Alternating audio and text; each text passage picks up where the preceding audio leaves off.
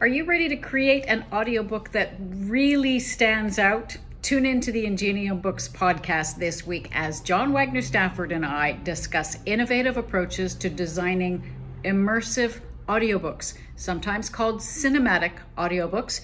But we're going to talk about how this approach can really help you connect with listeners from music to character arcs to professional narrators to multiple actors. We are talking about it all. We are also going to let you hear some samples, what this is like in practice. So don't miss out on this valuable content. Immersive audiobooks on the next episode of the Ingenium Books podcast.